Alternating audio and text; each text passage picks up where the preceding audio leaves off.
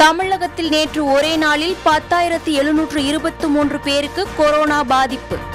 மருத்துவமனைகளில் சுமார் எழுபதாயிரம் பேர் சிகிச்சை பெற்று வருவதாக சுகாதாரத்துறை தகவல்.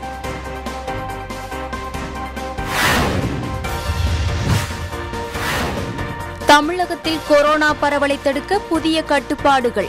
வரும் இருபதாம் தேதி முதல் இரவு நேர ஊரடங்கு அமல்படுத்தப்படும் என தமிழக அரசு அறிவிப்பு.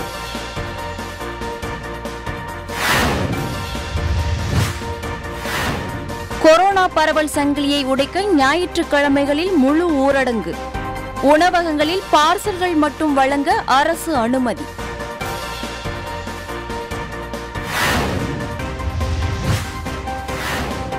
பிளஸ் டூ பொதுத் தேர்வுகளை ஒத்திவைத்து தமிழக அரசு அறிவிப்பு. செயல்முறை தேர்வுகள் திட்டமிட்டபடி நடைபெறும் எனவும் தகவல்.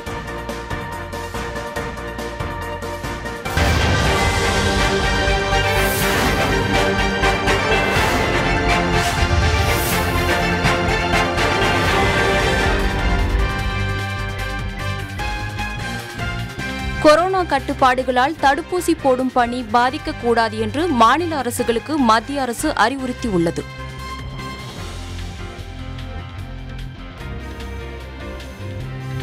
கொரோனா பரவல் காரணமாக ஜேஇஇ மெயின் தேர்வுகள் ஒத்திவைக்கப்படுவதாக தேசிய தேர்வு முகமை தெரிவித்துள்ளது.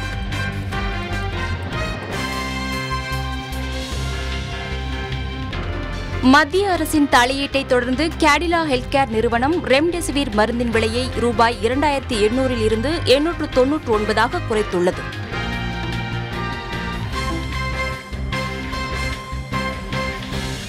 அசாமின் முன்னாள் முதலமைச்சர் பூமிதர் பர்மான் உடல்நலக் குறைவால் காலமானார்.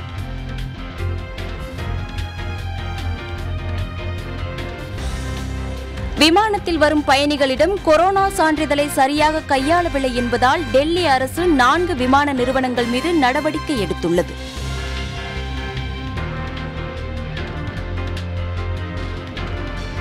உத்தரப்பிரதேசம் மத்திய பிரதேசம் இமாச்சல பிரதேசம் மற்றும் டெல்லி ஆகிய மாநிலங்களில் பத்தாம் வகுப்பு பொதுத்தேர்வு ரத்து செய்யப்பட்டுள்ளது.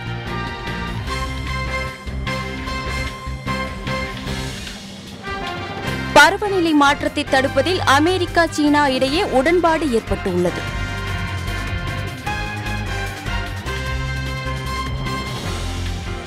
உஸ்பெகிஸ்தானில் நடைபெற்ற நீச்சல் போட்டியில் இரண்டு தங்கப்பதக்கம் வென்ற இந்திய வீரர் ஸ்ரீஹரி நடராஜ் தேசிய சாதனையும் படைத்தார்.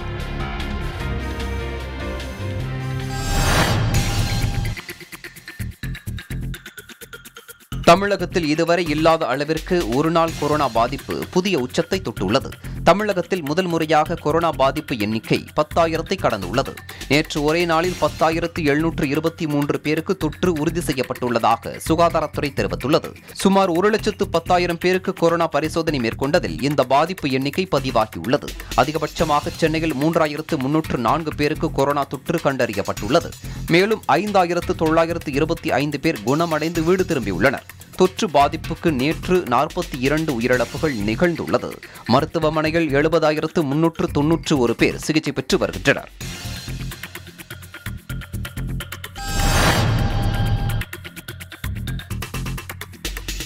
தமிழகத்தில் வரும் இருபதாம் தேதி முதல் இரவு நேர ஊரடங்கு அமல்படுத்தப்படும் என அரசு அறிவித்துள்ளது. தமிழகத்தில் கடந்த இரண்டு வாரங்களாக கொரோனாவின் தாக்கம் அதிகரித்து வருகிறது. நாளுக்கு நாள் கொரோனாவால் பாதிக்கப்படுவோர் எண்ணிக்கை அதிகரித்து வரும் சூழலில்.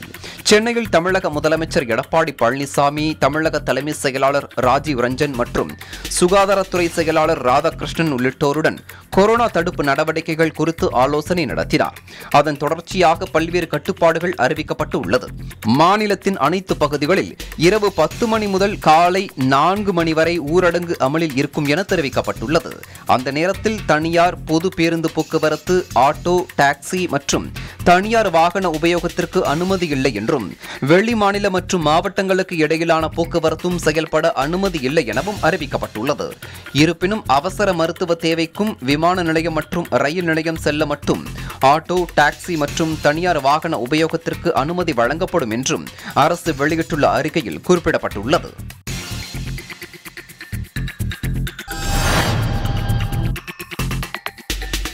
ஞாயிற்றுக்கிழமைகளில் மாநிலம் முழுவதும் முழு ஊரடங்கு அமலில் இருக்கும் என்று தமிழக அரசு அறிவித்துள்ளது.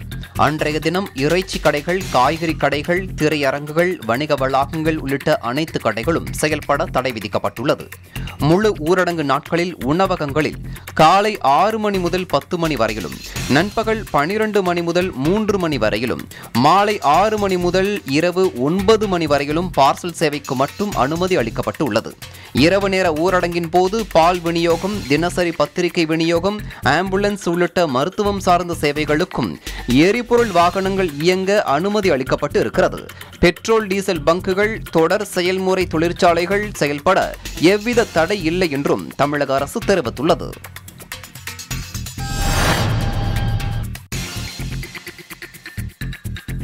கொரோனா தடுப்பு வழிகாட்டு நடைமுறைகளை பின்பற்றி தேநீர் கடைகள் உணவு விடுதிகள் காய்கறி கடைகள் பலசரக்கு கடைகள் உட்பட அனைத்து கடைகளும் வணிக வளாகங்கள் ஷோரூம்கள் பெரிய கடைகள் ஒரே நேரத்தில் ஐம்பது விழுக்காடு வாடிக்கையாளர்களுடன் இரவு ஒன்பது மணி வரை மட்டுமே செயல்படலாம் என தமிழக அரசு அறிவித்துள்ளது.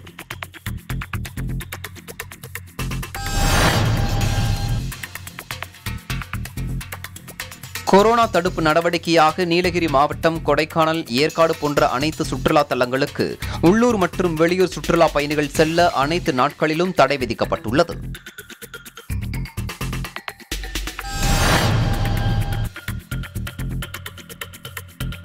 அரசு வெளியிட்டுள்ள கட்டுப்பாடு நடவடிக்கை அறிக்கையில் தமிழகத்தில் உள்ள அனைத்து கடற்கரை பகுதிகளுக்கு பொதுமக்கள் செல்ல தடை விதிக்கப்பட்டுள்ளது. பூங்காக்கள் உயிரியல் பூங்காக்கள் தொல்லியல் துறையின் பாதுகாக்கப்பட்ட சின்னங்கள் அருங்காட்சியகங்கள் போன்ற இடங்களுக்கு செல்லவும் தடை செய்யப்பட்டுள்ளது.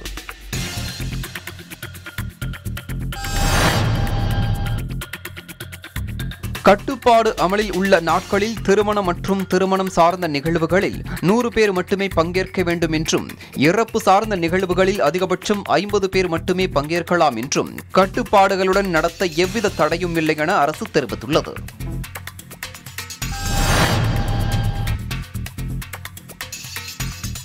தமிழகத்தில் கொரோனா பரவலை கட்டுப்படுத்த தமிழக அரசு புதிய கட்டுப்பாடுகளை அறிவித்துள்ளது. அதில் பனிரெண்டாம் வகுப்பு மாணவர்களுக்கான பள்ளிக் கல்வித்துறை மூலம் நடத்தப்படும் பொதுத் தேர்வு தள்ளி வைக்கப்படுவதாக தெரிவிக்கப்பட்டுள்ளது. இருப்பினும் மாணவர்களுக்கு தற்போது நடைபெற்று வரும் செயல்முறை தேர்வு திட்டமிட்டபடி நடைபெறும் எனவும் கல்லூரி தேர்வுகளை இணைய வழியில் மட்டுமே நடத்த வேண்டும் எனவும் அறிவிக்கப்பட்டுள்ளது.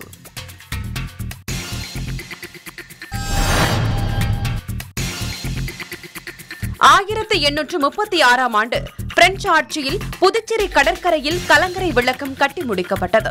ஒன்பது மீட்டர் அடித்தளமும் இருபத்தி ஒன்பது மீட்டர் உயரமும் கொண்ட இந்த கலங்கரை விளக்கத்தை மூன்று புள்ளி முப்பத்தி இரண்டு கோடி ரூபாய் மதிப்பீட்டில் புதுப்பிக்க கடந்த ஆண்டு முடிவு செய்யப்பட்டது.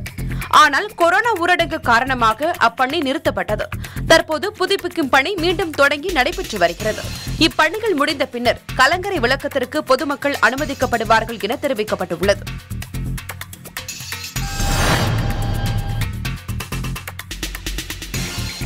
கொரோனா குறித்து கர்நாடக சுகாதாரத்துறை வெளியிட்டுள்ள செய்திக்குறிப்பில் கர்நாடகத்தில் புதிதாக நேற்று ஒரே நாளில் அதிகபட்சமாக பத்தொன்பதாயிரத்து அறுபத்தி ஏழு பேர் கொரோனா தொற்றால் பாதிக்கப்பட்டுள்ளனர் என தெரிவிக்கப்பட்டுள்ளது. மேலும் மாநில அளவில் கொரோனா தொற்றால் பாதிக்கப்பட்டிருந்தவர்களில் இதுவரை இல்லாத அளவுக்கு எண்பத்து ஒரு பேர் இறந்துள்ளனர். மேலும் பெங்களூரு மாவட்டத்தில் அதிகபட்சமாக அறுபது பேர் இறந்துள்ளதாகவும் கூறப்பட்டுள்ளது. கர்நாடகத்தில் இதுவரை பதிமூன்றாயிரத்து முன்னூற்று ஐம்பத்தோரு பேர் உயிரிழந்துள்ளதாக அந்த அறிக்கையில் தெரிவிக்கப்பட்டுள்ளது.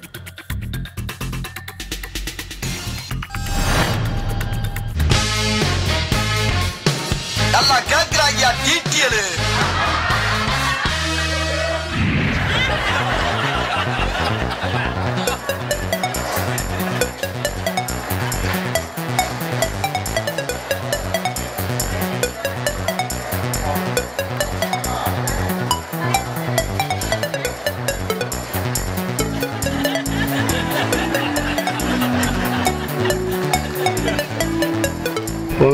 பார்க்கணும் இந்த ஊர் பேர் ஞாபகம் இல்லை எனக்கு. திடீர்னு இந்த கொஸ்டின் நீங்க மார்க்கெட்ல வந்து கேட்டு இருக்கீங்க நம்ம நாட்டுல தான்மா. தமிழ்நாட்டில் தான் பார்ப்பேன். நார்வேயா? நம்மளால கேள்வியில கேட்காதீங்க. நான் இந்தியா தான். தமிழ்நாட்டில் தான் பார்ப்பாங்க. தெரியலையா படிச்சிருக்கேன் ஞாபகம் இல்லையே? தெரியலையே மேடம் தமிழ்நாட்டில் கன்னியாகுமரியிலேருந்து ஒதுக்கணும் நம்ம நினச்சிக்கிட்டு இருக்கிறோம். நம்ம கன்னியாகுமரி இந்தியா தானே? இப்போ வரைக்கும் தெரியாது. எல்லாருமே எல்லா நாட்டிலையுமே ஃபஸ்ட்டு பார்ப்பாங்க.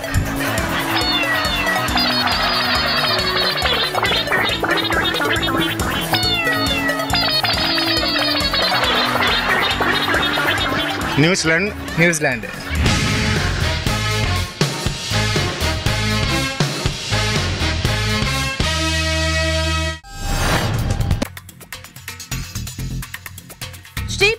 திருப்பூரில் வைணவ மகான் ராமானுஜரின் அவதார தலமான ஆதிகேசவ பெருமாள் கோவில் உள்ளது. ராமானுஜரின் அவதார உற்சவ விழாவில் கொரோனா காரணமாக பக்தர்கள் கூட்டத்தை தவிர்க்க கோவில் நிர்வாகம் சார்பில் இன்று நடந்த சாத்துமுறை விழாவை யூடியூப் மூலம் ஒளிபரப்பு செய்யப்பட்டது. இந்நிலையில் திருவிழாவின் மிகவும் விசேஷமான ராமானுஜர் அவதரித்த நாளில் ஏராளமான பக்தர்கள் குவிந்தனர்.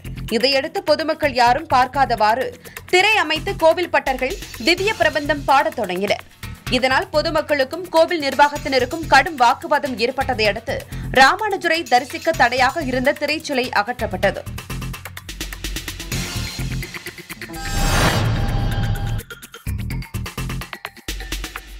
சென்னை வேளச்சேரியில் தி வெட்டிங் பிரியாணி என்ற பிரியாணி கடை புதிதாக திறக்கப்பட்டது. திறப்பு விழாவை முன்னிட்டு ஐம்பது சதவிகித தள்ளுபடி சலுகையும் அறிவித்திருந்தனர். இதனால் காலை முதலே கடையின் முன்பு சரிவர முகக்கவசம் இன்றியும் சமூக இடைவெளியின்றி பின்பற்றாமலும் மக்கள் கூட்டம் அதிகரித்தது. இதையடுத்து மாநகராட்சி அதிகாரிகள் வந்து கடையை மூடும்படி அறிவுறுத்தினர். இதனால் அந்த விற்பனை நிறுவனத்தினருக்கும் மாநகராட்சி அதிகாரிகளுக்கும் சிறிது நேரம் வாக்குவாதம் நடந்தது. பின்னர் அந்த கடை மூடப்பட்டது.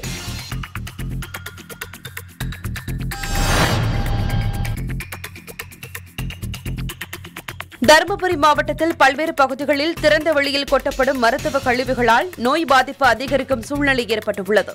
நல்லம்பள்ளி பகுதியில் உள்ள முத்தம்பட்டி வனப்பகுதி தண்டக்காரப்பட்டி உள்ளிட்ட சுற்றுவட்டார பகுதிகளில் உள்ள நீர் ஓடை ஏரிகள் என அனைத்து இடங்களிலும் மூட்டை மூட்டையாக மருத்துவ கழிவுகள் கொட்டப்பட்டுள்ளது.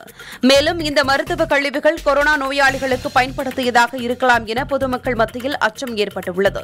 இதுபோன்ற செயல்களில் ஈடுபடுவோர் மீது கடும் நடவடிக்கை எடுக்கப்பட வேண்டும் என பொதுமக்கள் கோரிக்கை விடுத்துள்ளனர்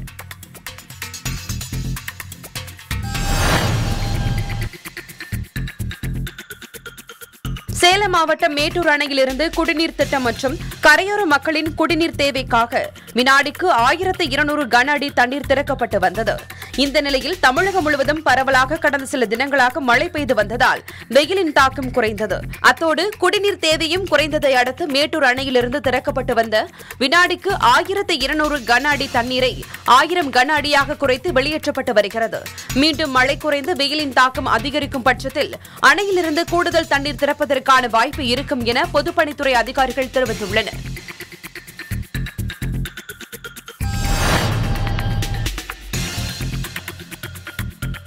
மயிலாடுதுறை நகராட்சியில் உள்ள முப்பத்தி ஆறாவது வார்டு பகுதி மற்றும் சுற்றுவட்டார கிராமங்களுக்கு மணல்மேடு முடிகண்டநல்லூர் கிராமத்திலிருந்து கொள்ளிடம் கூட்டு குடிநீர் திட்டத்தின் கீழ் குடிநீர் விநியோகிக்கப்படுகிறது.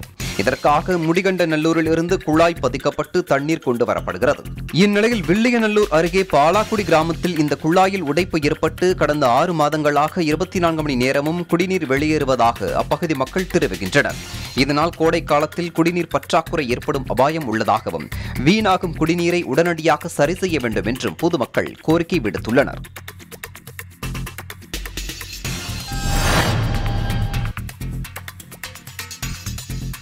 புதுச்சேரி மாநிலம் தட்டாஞ்சாவடியில் வேளாண் விற்பனை கூடத்தில் கடந்த ஆண்டு இதே நாட்களில் ஊரடங்கு அமலில் இருந்ததால் விவசாய விளைபொருட்கள் குறைந்த அளவிலேயே விற்பனைக்கு வந்தன. ஆனால் இந்த ஆண்டு பெரிய அளவில் கட்டுப்பாடுகள் இல்லாததால் விவசாயிகள் தங்கள் விளைபொருட்களை விற்பனை கூடத்திற்கு கொண்டு வந்து குவித்தனர்.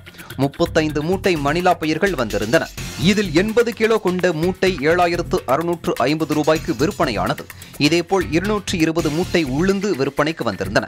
உளுந்து குவிண்டாலுக்கு எட்டாயிரத்து முன்னூற்று இருநூற்று இருபத்தைந்து ரூபாய் வரை விற்பனையானது. விளைபொருட்களுக்கு நல்ல விலை கிடைத்ததால் விவசாயிகள் மகிழ்ச்சி அடைந்தனர்.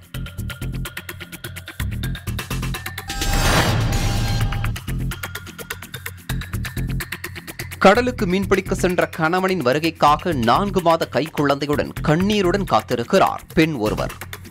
ராமநாதபுரம் மாவட்டம் கன்னிராஜபுரம் கிராமத்தைச் சேர்ந்த மீனவர் வேதமாணிக்கம். சமீபத்தில் கடலுக்கு மீன்பிடிக்கச் சென்றார். கடந்த பதிமூன்றாம் தேதி அன்று கர்நாடக மாநிலம் மங்களூர் ஆழ்கடல் பகுதியில் சுமார் அறுபது கடல் மைல் தொலைவில் மீன் பிடித்துக் கொண்டிருந்த போது அவ்வழியாக வந்த ஏபிஎல் லீ ஹாவ்ரே என்ற சிங்கப்பூரைச் சேர்ந்த சரக்கு கப்பல் மோதியதில் படகு மூழ்கியது. இதில் காணாமல் போன கன்னிராஜபுரம் கிராமத்தைச் சேர்ந்த பழனிவேல் பாலமுருகன் வேதமாணிக்கம் உள்ளிட்ட மூன்று மீனவர்களை தேடும் பணி நடைபெற்றது. இந்த நிலையில் பழனிவேல் உடல் மீட்கப்பட்டு உறவினர்களிடம் ஒப்படைக்கப்பட்டது. மேலும் இரண்டு மீனவர்களை தேடும் பணி தீவிரமாக நடைபெற்று வருகிறது. இப்போ இங்கே வந்து தேவமாணிக்கன்றது எங்கள் தங்கச்சி வீட்டுக்காரு. கல்யாணம் ஆகி மூணு வருஷம் ஆகுது. அவர் வந்து மீன் துடிக்கிற வியாபாரம் தான் பார்ப்பாரு. போட்டுக்கு அதுதான் வேலை அவருக்கு. ரொம்ப வருஷமாக அந்த வேலை தான் செய்கிறாரு இந்த வேலைக்கு போகும்போது இந்த மாதிரி ஆக்சிடெண்ட் ஆயிடுச்சு. அவர் அரசாங்கம் தான் நல்லபடியாக மீட்டு கொடுக்கணும். அரசாங்கம் மீட்டு கொடுப்பாங்கன்னு நம்பிக்கையோடு இருக்கிறோம். தேடப்பட்டு வரும் மீனவர்களின் ஒருவரான வேதமாணிக்கம் என்பவருக்கு நான்கு மாத ஆண் குழந்தை உள்ளது. இந்நிலையில் கணவர் வேதமாணிக்கத்தின் வருகைக்காக அவரது மனைவி விஜயா நான்கு மாத குழந்தையுடன் கண்ணீருடன் காத்திருக்கிறார்.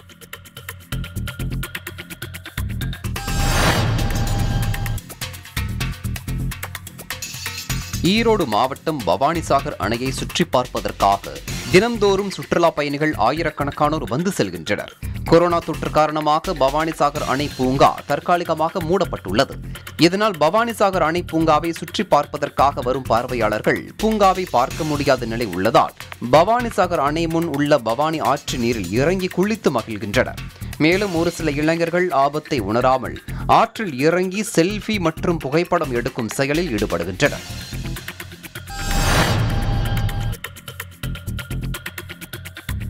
சேலம் மாவட்டம் எடப்பாடியில் குட்டி கேரளா என அழைக்கப்படும் பூலாம்பட்டி படகு போக்குவரத்து பகுதி மலைகள் சூழ்ந்த ரம்மியமாக காட்சியளிக்கும் பகுதியாகும். இப்பகுதியை சுற்றி பார்க்க விடுமுறை நாட்களில் ஏராளமான சுற்றுலா பயணிகள் வருவர். தற்போது கொரோனா இரண்டாவது அலை காரணத்தால் இந்த வாரம் பூலாம்பட்டிக்கு சுற்றுலா பயணிகளின் வருகை மிக குறைவாக காணப்பட்டது. இதனால் அப்பகுதியில் உள்ள சிற்றுண்டி கடை வியாபாரிகள் மற்றும் படகுத்துறை தொழிலாளர்கள் போதிய வருவாயின்றி ஏமாற்றம் அடைந்தனர்.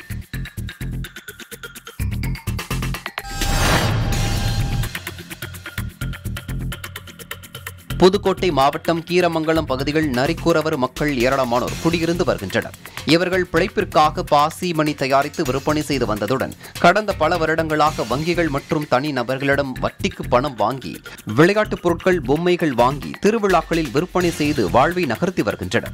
இந்நிலையில் மீண்டும் ஏற்பட்டுள்ள கொரோனா பரவலை தடுக்க அம்மாவட்டத்தின் பல்வேறு பகுதிகளில் நடைபெற இருந்த திருவிழாக்களும் தற்போது நடைபெறாமல் நிறுத்தி வைக்கப்பட்டுள்ளது. இதனால் வாங்கிய பொருட்களை விற்க முடியாமலும் வாங்கிய கடனுக்கு வட்டியும் கட்ட முடியாமலும் அன்றாட குடும்ப செலவுகளுக்கே தடுமாறி வருகின்றனர். ஒருவேளை உணவுக்கு கூட வழியின்றி தவிக்கும் தங்களுக்கும் அரசு உதவிக்கரம் நீட்ட வேண்டும் என கோரிக்கை விடுத்துள்ளனர்.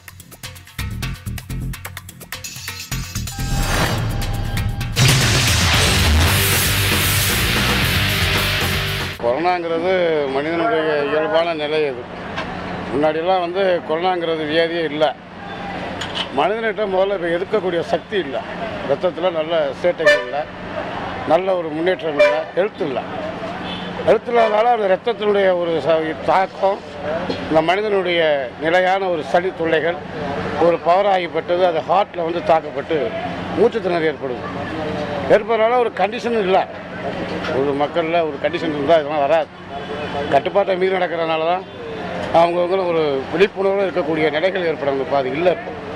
ஒரு நிலையான இதனால தான் இந்த கொரோனாங்கிற வியாதி ஒரு தொற்று வியாதி மாதிரி கட்டுப்பாடு இருந்தால் ஒதுக்கி வச்சா கொஞ்சம் நாளைக்கு ஒதுங்கி ஒரு அம்மா கோளாறு பண்ணுது. ஒரு மனிதனுக்கு அம்மா போட்டிருக்கும் போது அந்த அம்மா வந்து என்ன பண்ணுதுன்னா அடுத்த அடுத்தடுத்து தாக்கமாகுது. தாக்கமாகும்போது தொற்று வியாதி தானே இது. ஒரு ஃபிஃப்டீன் டேஸ் அது தனியாக ஒதுங்கி இருந்தாலே இந்த தாக்கம் போயிடும் அப்படிங்கிறத கட்டுப்பாடு. ஃபஸ்ட்டு சுத்தமாக இருக்கணும் ஹேண்ட் வாஷ் பண்ணணும் மாஸ்க் அணியணும் வெளியில் போகும்போது வீட்டுக்கு போகும்போது கை கால் சுத்தமாக கழுவிட்டு வீட்டுக்குள்ளே போகணும் நம்ம உடல்நிலை நம்ம சுத்தமாக வச்சுக்கணும். நம்மளே தான் காரணம். மாஸ்க் போட்டுக்கணும் ஹேண்ட் வாஷ்லாம் பண்ணிக்கணும். ஒருத்தவங்க போட்டிருக்காங்க ஒருத்தவங்க போடலன்னுலாம் இருக்கக்கூடாது. எல்லாருமே மாஸ்க் போட்டுக்கணும். நம்ம ஹெல்த்தாக இருக்கணும். இதுதான். பஸ்ஸில் நான் வந்துட்டுருக்கேன். தும்முறாங்க இருமுறாங்க. அவங்கள என்ன சொல்கிறாங்க கண்டக்டர் சார் ஒன்றும் சொல்கிறதில்ல அவங்க இருமும் போது தும்மும் போதும் துணியை கூட வச்சு தொடச்சிக்கிறதுல செஞ்சுக்கிறதில்ல. அப்படியே படார்னு மேலே தெரிக்கிற மாதிரி தான் செய்கிறாங்க இதெல்லாம் கொஞ்சம் கவனமாக அவங்க செயல்பட்டாங்கன்னா நல்லது. அவ்வளோதான் நாங்கள் வந்து முக முகக்கவசம் கவசம் வச்சுருக்கோம். மக்கள் கூட கொஞ்சம் தள்ளி நிற்கிறோம் நாங்கள் சொந்தக்காரங்கள்ட்டே நாங்கள் பழக மாட்டேங்கிறோம். நாங்களும் முடிஞ்ச அளவுக்கு நாங்கள் முயற்சி பண்ணிட்டு தான் இருக்கோம். இதுக்கு மேலே மெடிக்கல் டிபார்ட்மெண்ட் தான் இதை வந்து நல்லபடியாக ஒரு ஆராய்ச்சி பண்ணி ரிசர்ச் பண்ணி இதுக்கு ஒரு மருந்து கொண்டு வந்து கட்டாயப்படுத்துங்க. நான் வந்து முப்பத்தி ரெண்டு வயசு. நான் தடுப்பூசி போட போனேன். எனக்கு தடுப்பூசி போட விடல. ஏன்னா வந்து உங்கள் ஏஜுக்கு தடுப்பூசிக்கு ஆர்டர் இல்லைன்னு சொல்கிறாங்க எங்களும் போட சொல்லுங்கள் எங்கள் மாதிரி இளைஞருக்கும் போடணும். நாங்கள் வெளியில் சுற்றுறோம் வெளியே வரோம் போகிறோம் எல்லாரும் கூட பழகுறோம். நாங்களும் போடணும். அதே மாதிரி பிள்ளைங்களுக்கும் தடுப்பூசி கொண்டு வாங்க. எல்லாரும் சேர்ந்து தடுப்பூசி போட்டுக்கிறோம். ஏன்னா வேற வ- வேற வழி இல்லை. இதுக்கு தப்பிக்கிறதுக்கு வேற வழி இல்லை. தடுப்பூசி தான் அது அர்த்தம்னா எல்லாத்துக்கும் போடுங்க. ஏன் வயசு குறிப்பிட்ட வயசுக்கு போடுறீங்க? நாற்பத்தஞ்சு வயசு போடுறீங்க? ஐம்பது வயசுக்கு போடுறீங்க? எல்லாத்துக்கும் போட்டு விடுங்க. தடுப்பூசி தான் ஒரு வழினா தடுப்பூசி எல்லாத்துக்கும் போட்டு விடுங்க. எல்லாத்துக்கும் தடுப்பூசி போட்டு விடுங்க.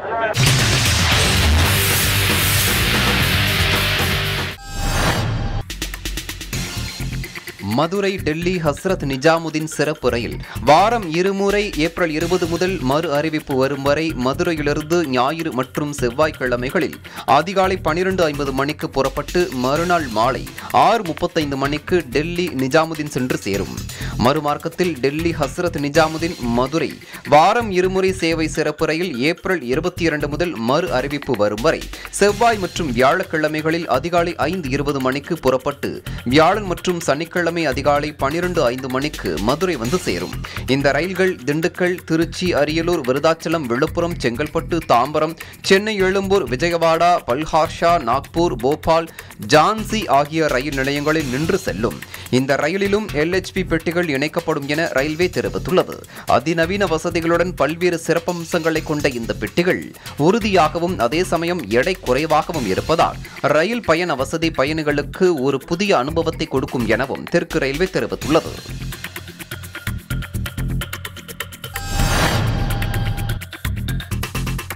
நெல்லை மாவட்டம் நாங்குநேரி பெருமாள் கோவிலில் சித்திரை திருவாதிரையில் எம்பெருமானார் அவதரித்த ஆயிரத்து நான்காவது திருநட்சத்திர வைபவம் தொடங்கியது. திருக்கோவில் வளாகத்தில் பெருமாள் தாயாருடன் எழுந்தருள எம்பெருமானார் மாமுனிகளும் திருமஞ்சனம் கண்டருள எழுந்தருளினார்கள். தொடர்ந்து வெள்ளி கலசத்தில் புண்ணிய தீர்த்தங்கள் நிரப்பப்பட்டு அர்ச்சகர் பெருமக்களால் பூஜைகள் நடத்தப்பட்டது.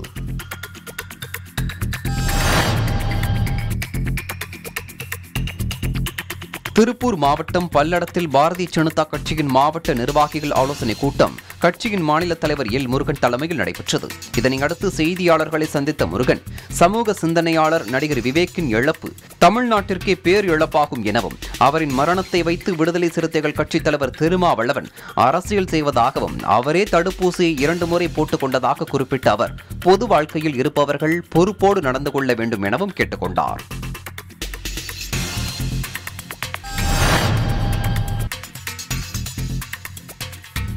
கோவையில் இந்து மக்கள் கட்சியின் நிறுவன தலைவர் அர்ஜுன் சம்பத் செய்தியாளர்களை சந்தித்து பேசினார். அப்போது பேசிய அவர் அம்பேத்கர் நினைவு நாள் மற்றும் பிறந்த நாள் நிகழ்ச்சிகளின் போது அவரது சிலைக்கு மாலை அணிவித்து மரியாதை செலுத்தி செல்லும் பாரதிய ஜனதா நிர்வாகிகள் மற்றும் இந்து அமைப்பினர் மீது விடுதலை சிறுத்தைகள் கட்சி மற்றும் திராவிட கழகத்தினர் தொடர்ந்து தாக்குதல் நடத்தி வருவதாகவும் இது தமிழகம் முழுவதும் தொடர்வதால் திராவிடர் கழக இயக்கங்களையும் விடுதலை சிறுத்தை கட்சியை தடை செய்ய வேண்டும் என அவர் கோரிக்கை விடுத்துள்ளார்.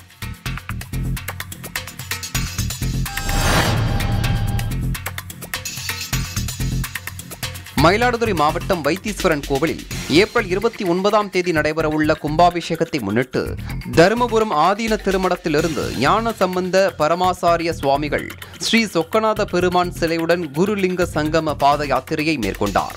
இந்த யாத்திரையில் இஸ்லாமியர்கள் அதிகம் வசிக்கும் நீடூர் என்ற பகுதியை தருமபுரம் ஆதீனம் ஞான சம்பந்த பரமாசாரிய சுவாமிகள் கடந்து செல்லும் போது பெரிய பள்ளிவாசல் முன் இஸ்லாமிய பெருமக்கள் அவருக்கு சால்வை வழங்கி வரவேற்பு அளித்தனர்.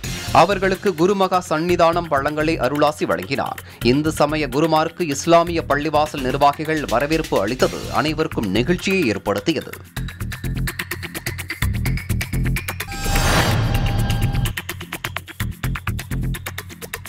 காரைக்காலில் உள்ள முதியோர் இல்லத்தில் தங்கியிருந்த மூதாட்டி ஜெயலட்சுமிக்கு சில தினங்களுக்கு முன்னர் கொரோனா பரிசோதனை செய்யப்பட்டது.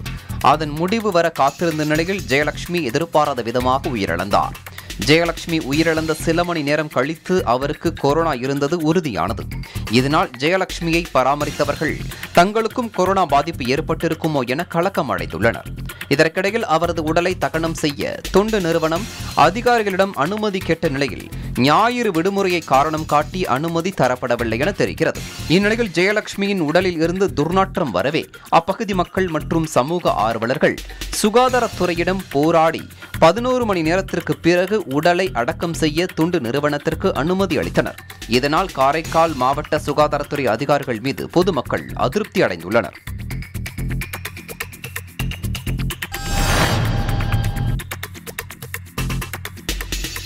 கோவை கணபதி பகுதியில் ஓய்வு பெற்ற முன்னாள் விமானப்படை ஊழியர்களின் குடியிருப்பு வளாகம் அமைந்துள்ளது.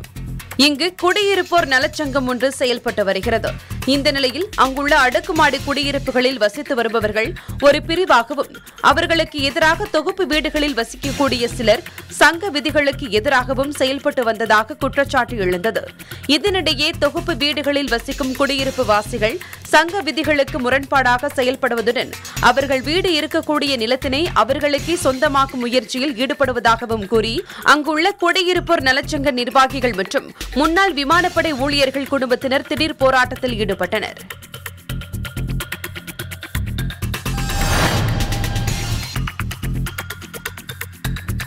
நடந்து முடிந்த தமிழக சட்டப்பேரவை தேர்தலுக்கான வாக்கு எண்ணிக்கை மே இரண்டாம் தேதி நடைபெற உள்ளது. மதுரை அரசு மருத்துவக் கல்லூரி வளாகத்தில் உள்ள வாக்கு எண்ணிக்கை மையத்தில் வாக்குப்பதிவு இயந்திரங்கள் சீலிடப்பட்ட அறைகளில் பாதுகாப்பாக வைக்கப்பட்டுள்ளது. இந்நிலையில் வாக்கு எண்ணிக்கை மையத்தில் மின்துறையைச் சேர்ந்த ஒப்பந்த ஊழியர்கள் இருவர் பின்வாசல் வழியாக உள்ளே சென்றதாக திமுக தரப்பு வழக்குரைஞர்கள் புகார் எழுப்பினர். இதையடுத்து நடத்திய விசாரணையில் அவர்கள் இருவரும் பொதுப்பணித்துறையில் தற்காலிக மின்வாரிய பணியாளர்கள் என்பது தெரிய வந்தது.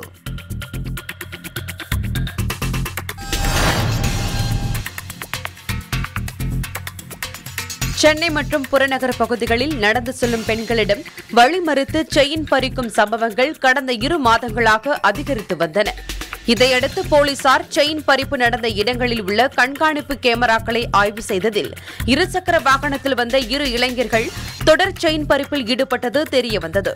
விசாரணையின் அடிப்படையில் மதுராந்தகத்தைச் சேர்ந்த டேனியல் என்ற பொறியாளரும் திருவள்ளூரைச் சேர்ந்த மணிகண்டன் என்ற பட்டதாரியும் கைது செய்யப்பட்டனர். அவர்களிடம் இருந்து நாற்பது சவரன் தங்க நகைகள் பறிமுதல் செய்யப்பட்டன.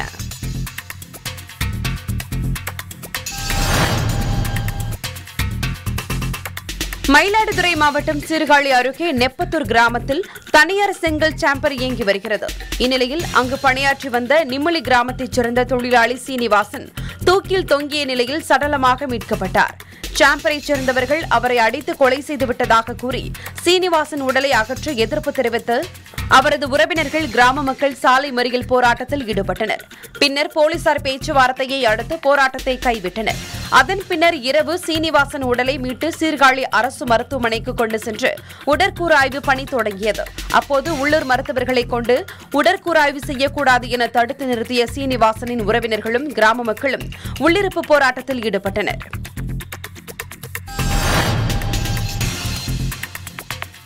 திருப்பூரை சேர்ந்த முப்பது பேர் கொடைக்கானலுக்கு சுற்றுலா சென்றுவிட்டு வாகனத்தில் திரும்பி வந்து கொண்டிருந்தனர். பழனி கொடைக்கானல் சாலையில் வந்து கொண்டிருந்த போது ஓட்டுநரின் கட்டுப்பாட்டை இழந்து இவர்கள் வந்த வாகனம் சாலையில் கவிழ்ந்து விபத்திற்குள்ளானது. அவ்வழியாக வந்த மற்ற சுற்றுலா பயணிகள் உடனடியாக நூற்றி எட்டு ஆம்புலன்ஸ் மற்றும் காவல்துறை அதிகாரிகளுக்கு தகவல் தெரிவித்தனர். பின்னர் சம்பவ இடத்திற்கு சென்ற போலீசார் மற்றும் தீயணைப்பு துறையினர் இடிபாடுகளில் சிக்கிய முப்பது பயணிகளை மீட்டு பழனி அரசு மருத்துவமனைக்கு சிகிச்சைக்காக அனுமதித்தனர்.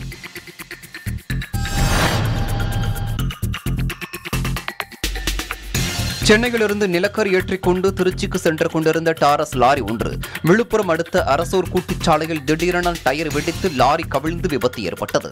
அப்போது இருசக்கர வாகனத்தில் சாலையோரம் நின்று கொண்டிருந்த பாலமுருகன் என்பவர் லாரியின் அடியில் சிக்கி சம்பவ இடத்திலேயே உயிரிழந்தார்.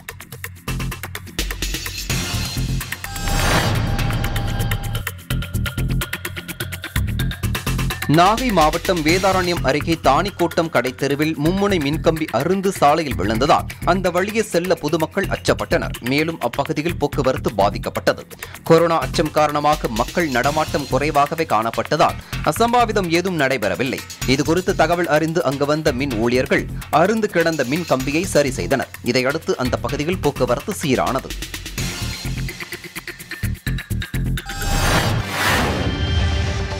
கோடை காலம் என்பதால் ஏராளமான சுற்றுலா பயணிகள் ஒகேனக்கல்லுக்கு வருகை தந்திருந்தனர். ஆனால் தற்போது காவிரி ஆற்றில் நீர்வரத்து குறைந்துள்ளதாலும் கொரோனா தொற்று அச்சுறுத்தலாலும் சுற்றுலா பயணிகளின் வருகை கடந்த வாரத்தை விட குறைவாகவே காணப்பட்டது.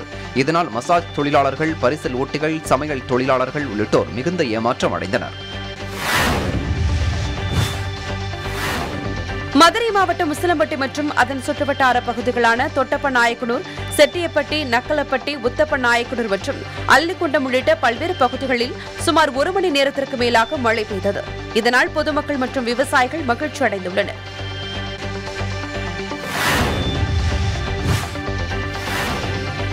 தேனி மாவட்டம் கம்பம் கூடலூர் குள்ளப்ப கவுண்டன்பட்டி நாராயணதேவன்பட்டி உள்ளிட்ட மலையடிவாரங்களில் ஒட்டியுள்ள கிராமப்புறங்கள் மற்றும் அதன் சுற்று வட்டாரங்களில் இடியுடன் கூடிய கனமழை பெய்தது. இதனால் கோடை வெயிலின் தாக்கம் குறைந்து கம்பம் பகுதிகளில் குளிர்ந்த சூழல் நிலவி வருகிறது.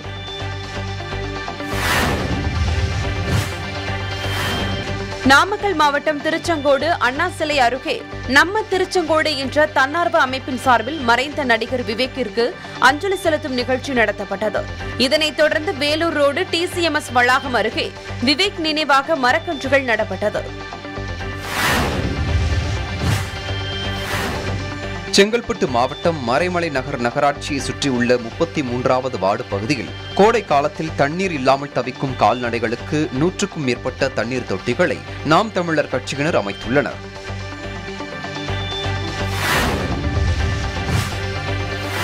தமிழகத்தில் கடந்த சில நாட்களாக கொரோனா வைரஸ் தொற்று பரவல் அதிகரித்துள்ளது இந்நிலையில் பழனியில் தமிழ்நாடு அனைத்து வகை வணிகர் சங்கங்களின் பேரமைப்பு சார்பாக கொரோனா வைரஸ் தொற்று பரவல் குறித்து பொதுமக்களிடத்தில் விழிப்புணர்வு ஏற்படுத்தும் வகையில் ஊர்வலம் நடத்தப்பட்டது. பழனி மலை அடிவாரத்தில் உள்ள பாத விநாயகர் கோயில் முன் துவங்கிய ஊர்வலம் பேருந்து நிலையம் காந்தி மார்க்கெட் பெரிய கடை வீதி உள்ளிட்ட நகரின் முக்கிய வீதிகளில் வலம் வந்து விழிப்புணர்வு பிரச்சாரம் மேற்கொள்ளப்பட்டது.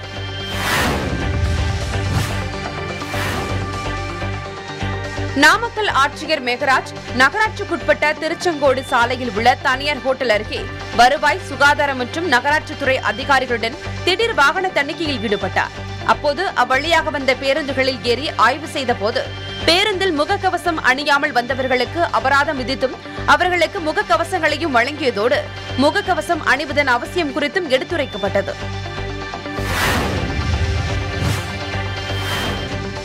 நீலகிரி மாவட்டத்தில் உள்ள சுற்றுலா தலங்களில் செயல்பட்டு வரும் உணவு விடுதிகள் கடைகளில் வருவாய்த்துறை அதிகாரிகள் ஆய்வு நடவடிக்கை மேற்கொண்டனர். அப்போது கொரோனா தடுப்பு விதிகளை பின்பற்றாமல் இருந்த சுற்றுலா பயணிகள் கடை உரிமையாளர்களிடம் அதிகாரிகள் அபராதம் விதித்து வசூல் செய்தனர். மதுராந்தகம் மற்றும் செய்யூர் பகுதிகள் தேவையின்றி வெளியே சுற்றியவர்கள் மீது அதிகாரிகள் வழக்கு பதிவு செய்தனர். மேலும் முகக்கவசம் இல்லாமல் வருபவர்களிடம் முகக்கவசம் அணிவதன் அவசியம் குறித்தும் சமூக இடைவெளி கடைபிடிக்க வேண்டும் எனவும் வேண்டுகோள் விடுத்து விழிப்புணர்வை ஏற்படுத்தி அனுப்பி வைத்தனர்.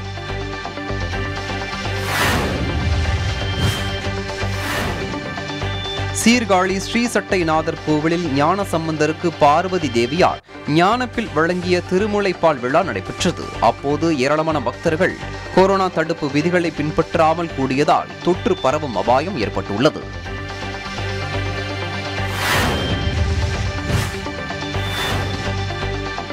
தமிழகம் முழுவதும் கொரோனா தடுப்பூசி முகாம்கள் நடைபெற்று வருகிறது. இதன் ஒரு பகுதியாக விருதுநகர் மாவட்டத்தில் ஸ்ரீவில்லிபுத்தூர் அருகே பத்ரா இருப்பு பகுதியில் சுகாதாரத்துறை மற்றும் காவல்துறை சார்பில் பொதுமக்களுக்கு கொரோனா தடுப்பூசி போடும் முகாம் நடைபெற்றது.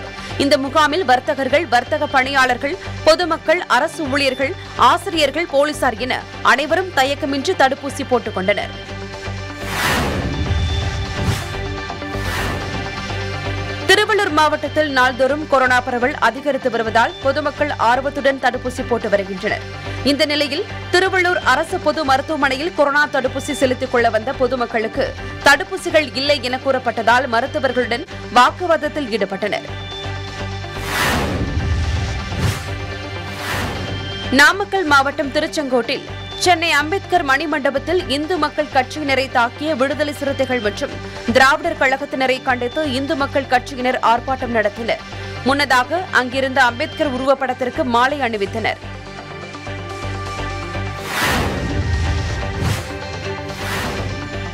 கோவை வடவள்ளி பேருந்து நிலையம் அருகே பல்பொருள் அங்காடி ஒன்று செயல்பட்டு வருகிறது.